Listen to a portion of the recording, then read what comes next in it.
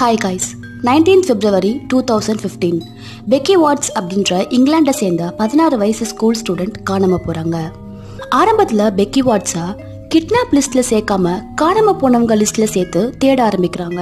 Peggy வாட்ஸோட ஃபோட்டோவெல்லாம் மீடியாவில் publish பண்ணி இவங்களை கண்டுபிடிச்சி தரவங்களுக்கு இவ்வளோ ரிவார்ட் தரோம் அப்படின்ற மாதிரி அட்வர்டைஸ்மெண்ட்டு கொடுக்குறாங்க. ஆனால் கொஞ்ச நாள் கழிச்சு பெக்கி வாட்ஸோட வீட்டு பக்கத்தில் இருக்கிற க்ரௌன் ஹில் அப்படின்ற கார்டனில் பெக்கி வாட்ஸை கொலை பண்ணி பாட் பாட்டாக கட் பண்ணி நிறைய சூட்கேஸில் வச்சு அந்த கார்டனில் புதைச்சிருக்கிறத போலீஸ் கண்டுபிடிக்கிறாங்க.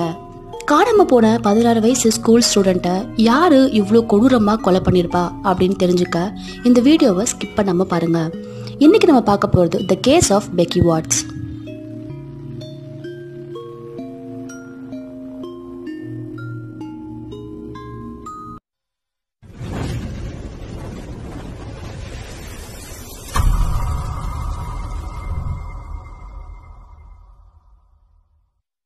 வீடியோக்குள்ளே போகிறதுக்கு முன்னாடி நம்ம சேனலை சப்ஸ்கிரைப் பண்ணிக்கோங்க. நான் போடுற வீடியோ உங்களுக்கு பிடிச்சிருந்தா லைக் அண்ட் கமெண்ட் பண்ணுங்கள் மறக்காமல் உங்கள் ஃப்ரெண்ட்ஸ் அண்ட் ஃபேமிலிக்கும் ஷேர் பண்ணுங்கள் வாங்க வீடியோக்குள்ளே போகலாம். Becky Watts third June nineteen ninety eight இங்கிலாண்டில் இருக்கிற பிரிஸ்டோல் அப்படின்ற பகுதியில் பிறக்கிறாங்க. இவங்க பிறந்து கொஞ்ச நாள்லே அவங்க அம்மாவும் அப்பாவும் பிரிஞ்சிடுறாங்க. பிரிஞ்சு போன பெக்கி வாட்ஸோட அப்பா ஆன்ஜி அப்படின்றவங்கள இன்னொரு கல்யாணம் பண்ணிக்கிறாங்க.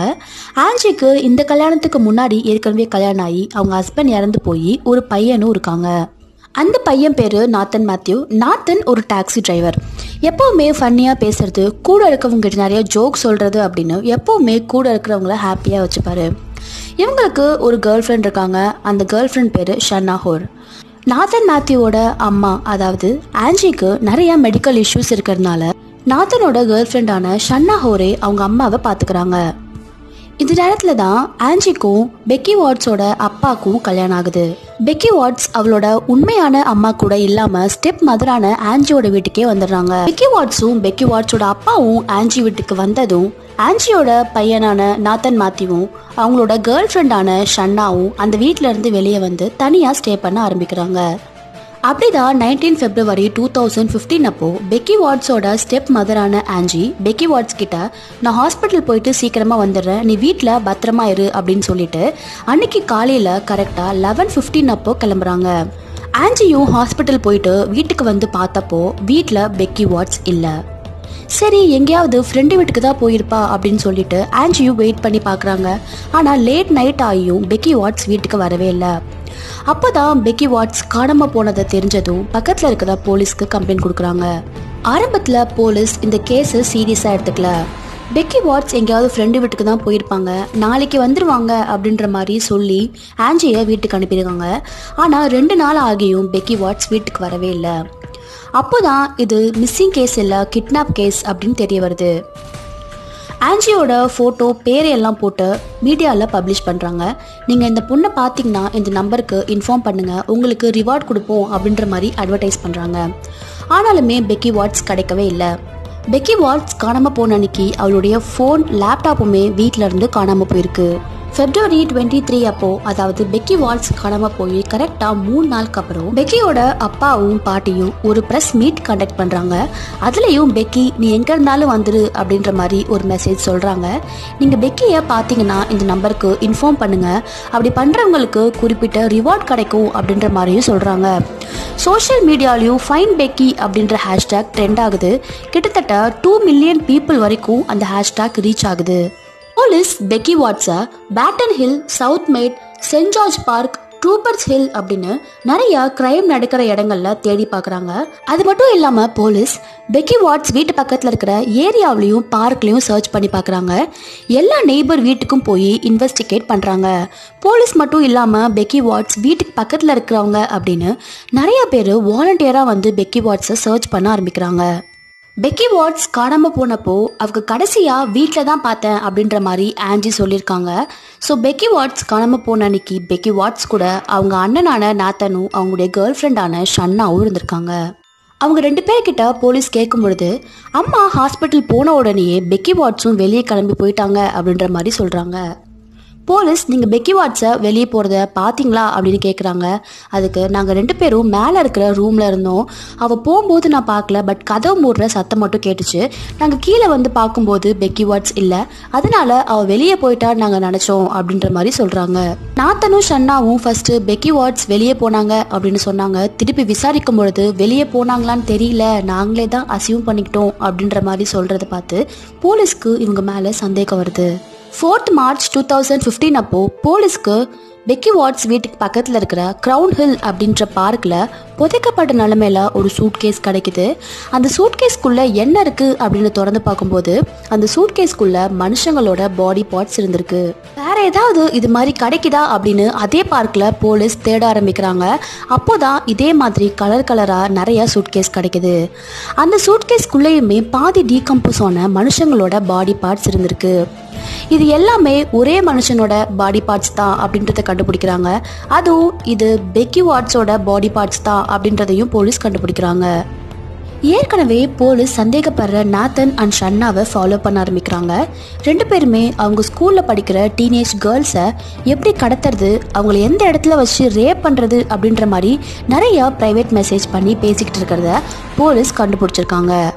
உடனே போலீஸ் இது ரெண்டு பேரையும் அரெஸ்ட் பண்ணுறாங்க வாட்ஸோட பாடியை புதைக்கிறதுக்கு ஹெல்ப் பண்ண இவங்களோட ஃப்ரெண்டான இன்னும் நாலு பேரை அரெஸ்ட் பண்ணுறாங்க நாத்தன் அண்ட் ஷன்னா மொபைல்லேருந்து நிறைய போனோகிராஃபிக் வீடியோஸ் அண்ட் இமேஜஸ் எல்லாம் போலீஸ் எடுக்கிறாங்க. போலீஸும் அவங்க படிக்கிற ஸ்கூலுக்கு போய் டீனேஜ் கேர்ள்ஸ் கிட்ட எல்லாம் விசாரிக்கிறாங்க. அவங்க சொன்னது என்ன அப்படின்னா நாத்தனும் ஷன்னாவும் நிறைய டீனேஜ் பொண்ணுங்களை தப்பாக ஃபோட்டோ எடுத்து அதுக்கப்புறம் அவங்கள பிளாக்மெயில் பண்ணுவாங்க. தனியாக இடத்துக்கு வர வச்சு ரேப்பும் பண்ணுவாங்க அப்படின்ற மாதிரி சொல்கிறாங்க October six two thousand fifteen அப்போ ரெண்டு பேரோட ட்ரையல் ஆரம்பிக்குது. அப்போ பெக்கி வாட்ஸோட லாயர் என்ன சொல்றாரு அப்படின்னா ரெண்டு பேரும் ஆஞ்சி வெளியே போனதுக்கப்புறம் பெக்கி வாட்ஸை ரேப் பண்ணுறதுக்காக ட்ரை பண்ணியிருக்காங்க அப்போதான் பெக்கி வாட்ஸால மூச்சு விட முடியாம இறந்து போறாங்க. பெக்கி வாட்ஸ் இறந்து போனதை பார்த்த ரெண்டு பேருமே அவங்க டெட் பாடியை எடுத்துட்டு போயிட்டு அவங்க கார் பின்னாடி வச்சிடுறாங்க.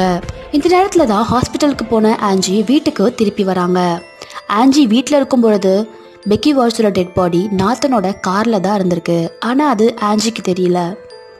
நாத்தனும் ஷன்னாவும் ஆஞ்சி கூட டைம் ஸ்பெண்ட் பண்ணிட்டு அவங்க காரை அவங்க ஸ்டே பண்ணியிருக்கிற வீட்டுக்கு எடுத்துகிட்டு போகிறாங்க அதுக்கு அடுத்த நாள் ஷன்னாவோட பாடியை கத்தியை வச்சையும் வட்டமான ரம்பத்தை வச்சையும் கட் பண்ணி நிறையா பேக்லையும் பாக்ஸ்லையும் போட்டு வைக்கிறாங்க. பக்கத்தில் இருக்கிற கடைக்கு போய் நிறையா சூட்கேஸ் வாங்கியிருக்காங்க. அது மட்டும் இல்லாமல் க்ளீன் பண்ணுறதுக்கு தேவையான நிறையா கெமிக்கல்ஸும் வாங்கியிருக்காங்க. எல்லாமே அந்த கடையில் இருக்கிற சிசிடிவி கேமராவில் கேப்சர் ஆயிருக்கு.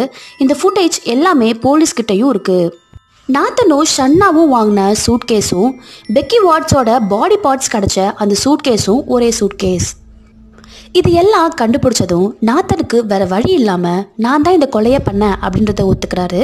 ஆனால் நான் ரேப் பண்ணும் அப்படின்றதுக்காக அவளை கொலை பண்ணல. அவளுக்கு நிறைய பேட் பிஹேவியர் இருந்துச்சு. அதை மாற்றணுன்றதுக்காகவும் அவளுக்கு சின்ன பயத்தை கொடுக்கணுன்றதுக்காகவும் தான் அவளை கிட்னாப் பண்ணுற மாதிரி ஒரு ஆக்ட் பண்ணோம்.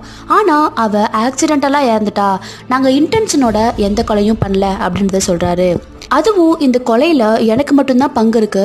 என்னோட கேர்ள் ஃப்ரெண்டான ஷன்னாக்கு பங்கு இல்லை அப்படின்னு சொல்கிறாரு பெக்கி வாட்ஸ் இறந்து போகும்போது நான் மட்டும்தான் அந்த ரூமில் இருந்தேன். ஷன்னா கார்டனில் இருந்தாங்க அப்படின்றதையும் சொல்கிறாங்க நாத்தனோட ஃப்ரெண்டான ஜேம்ஸ் அண்ட் டோனவன் இவங்க ரெண்டு பேருமே பெக்கி வாட்ஸோட பாடியை நாத்தனோட வீட்டுக்கு எடுத்துட்டு போறதுக்கு ஹெல்ப் பண்ணியிருக்காங்க இவங்க ரெண்டு பேருக்கும் டூ இயர்ஸ் லைஃப் இம்ப்ரிசன்மெண்ட் கொடுக்குறாங்க.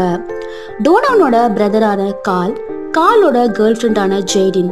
இவங்க ரெண்டு பேருமே பெக்கி வாட்ஸை கொலை பண்ணதுக்கு அப்புறம் பெக்கி வாட்ஸோட ரிமைன்ஸை இவங்க ஷெட்டில் ஸ்டோர் பண்ணி வச்சு நாத்தனுக்கும் ஷன்னாக்கும் ஹெல்ப் பண்ணியிருக்காங்க அதனால கால்க்கும் ஜெய்டினுக்கும் சிக்ஸ்டீன் மந்த் இம்ப்ரிசன்மெண்ட் கொடுக்குறாங்க. நாத்தனுக்கு ஏற்கனவே நிறைய டீனேஜ் பொண்ணுங்களை ரேப் பண்ணது பெக்கி வாட்ஸை கிட்னாப் பண்ணது ரேப் பண்ண ட்ரை பண்ணது அவங்கள கொலை பண்ணி இல்லீகலாக புதைச்சது அப்படின்னு எல்லா குற்றங்களுக்கும் சேர்த்து thirty three years life imprisonment without parole கொடுக்குறாங்க. ஷன்னாக்கு அவங்க ஸ்கூலில் படித்த டீனேஜ் பொண்ணுங்களை தப்பாக ஃபோட்டோ எடுத்தது அவங்கள பிளாக்மெயில் பண்ணது பெக்கி வாட்ஸை புதைக்க ஹெல்ப் பண்ணது அப்படின்னு எல்லா குற்றங்களுக்கும் சேர்த்து seventeen years life imprisonment without parole கொடுக்குறாங்க. இந்த ஜட்ஜ்மெண்ட்டை கொடுத்த பிரிஸ்டால் கிரவுன் கோர்ட்டோட ஜட்ஜுமே பெக்கி வாட்ஸோட ஃபேமிலிக்கு என்னோட ஆழ்ந்த இடங்கள்ல நான் தெரிவிக்கிறேன் அப்படின்றதையும் சொல்லியிருக்காரு. இதோட Becky Watts murder case solve ஆகுது. இந்த வீடியோ உங்க எல்லாருக்கும் பிடிச்சிருக்கும்னு நினைக்கிறேன். அடுத்த வீடியோவில் சந்திக்கலாம். Until then bye bye from Vivitha